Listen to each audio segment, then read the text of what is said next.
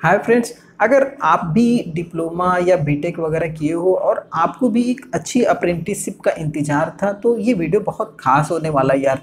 बहुत मस्त वीडियो है और यहाँ पर मैं आपको बताने वाला हूँ कि अब भी अगर आप भी लेटेस्ट 2019, 20, 21 किसी भी बैच में अगर आपने अपना डिप्लोमा या अपना बीटेक वगैरह का कोई भी टेक्निकल डिग्री अगर आपने कंप्लीट की है तो आपको ये अप्रेंटिसशिप करना चाहिए। हमारे हिसाब से सही है। आप अगर अप्रेंटिसशिप करोगे तो पहली बात, आप देखो, यहाँ पर जॉब की बहुत दिक्कत है। और अगर आप अप्रेंटिसशिप कर रहे हो तो आप अपने आप को इंगेज रखोगे।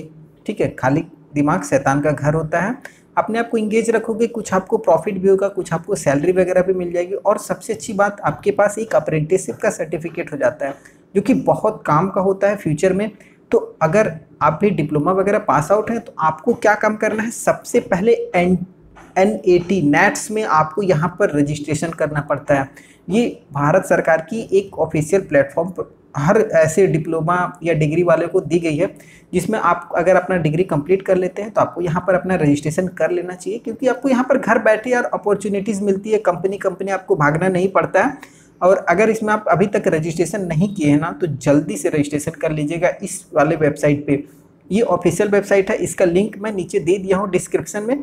तो ये आप देख सकते हैं एन टी ये ऑफिशियल वेबसाइट है। सशक्त युवा, समर्थ भारत, ये इसका मेन वाक्य है। अब यहाँ पर अगर आप देखेंगे न्यू कैंडिडेट हैं तो आपको अपना इनरोल कर लेना है। आप इनरोलमेंट करेंगे अपना। तो यहाँ पर अगर आप इनरोल पे क्लिक करते हैं तो आपके सामने यहाँ पर ये पोर्टल इस तरीके से खुलेगा।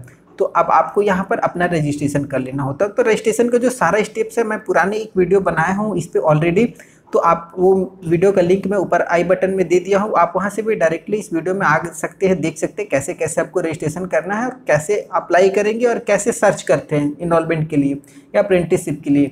तो आज थोड़ा सा वीडियो खास है। आज बहुत अच्छी वर्ती निकल कर के आ रही है। मैं आपको दिखा देता हूँ। एक नोटिफिकेशन है हमारे सामने Bangalore electricity supply company limited ये एक ऑफिशियल नोटिफिकेशन आप यहाँ से देख सकते हैं। तो ये बेंगलोर जिसको हम लोग बोलते हैं बिस्कॉम ठीक है, इसका शॉर्ट फॉर्म बिस्कॉम है, इसका एक नोटिफिकेशन जारी किया गया तो यहाँ पर आप देख सकते हैं अप्रेंटिसशिप ट्रेनिंग नोटिफिकेशन है ये, साफ़ शब्दों में। तो यहाँ पर आप देखेंगे, ये 21-22 के लिए ये नोटिफिकेशन बिस्कॉम की तरफ़ से जारी किया गया। तो यहाँ पर आप देख सकते हैं, दो तरीके का यहाँ पर वैकेंसी निकाली गई है।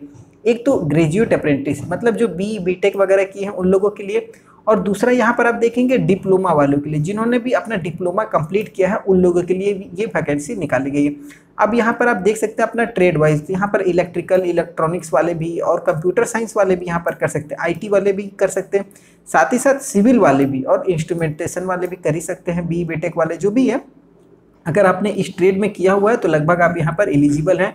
यहाँ मैकेनिकल के लिए कोई वैकेंसीज नहीं दी गई है। अब अगर टोटल सीट की बात करेंगे तो आप यहाँ पर टोटल अपना ट्रेड वाइज सीट देख सकते हैं। तो अगर टोटल देखेंगे तो 325 ये अप्रेंटिसिप की भर्ती है। और सैलरी की अगर बात करेंगे तो मंथली स्टाइपेंड आपको सात हज़ार मिलने वाला है। और जो ट्रेनिंग होगी, वो आपका लगभग लगभग एक साल की। यहाँ पर ये ट्रेनिंग होने वाली है। तो ये आपका ग्रेजुएट अप्रेंटिस की बात हो गई। उसके बाद डिप्लोमा में आप देखेंगे तो यहाँ पर भी आपको पचहत्तर वैकेंसीज दिख रही है। पचहत्तर पदों पर भर्ती होगी, जिसमें आपको वही सेम ट्रेड इलेक्ट्रिकल इलेक्ट्रॉनिक्स फिर यहाँ पर ई e और कंप्यूटर साइंस के लिए यहाँ पर तो यहाँ पर आपको थोड़ा सा स्टाइपेंड कम मिल रहा है ग्रेजुएट को सात हज़ार मिलेगा तो आपको यहाँ पर पाँच हज़ार रुपये का स्टाइपेंड मिलने वाला है। सेम वही आपका एक साल का यहाँ भी आपको ट्रेनिंग होने वाली है। अब एजुकेशन तो मैं आपको बता दिया कि अगर आप भी अपना बी बी वगैरह कंप्लीट किए हो या फिर आपने डिप्लोमा वगैरह तीन ईयर्स का कंप्लीट किया होगा तो आप एलिजिबल हैं। कोई भी ट्रेड से आप मतलब जो भी ट्रेड इनका रिक्वायर है, उस ट्रेड से अगर आपने किया है तो आप यहाँ पर फॉर्म भर सकते हैं। अब आपका कॉलेज किसी भी टाइप का हो, चाहे वो गवर्नमेंट हो प्राइवेट हो स्टेट गवर्नमेंट हो, आप एलिजिबल हैं। उसके बाद यहाँ पर आप देख सकते हैं एलिजिबिलिटी क्राइटेरिया में आप देख सकते हैं कुछ कुछ यहाँ पर है। जैसे 2018 से लेकर के 2020 के बैच वाले।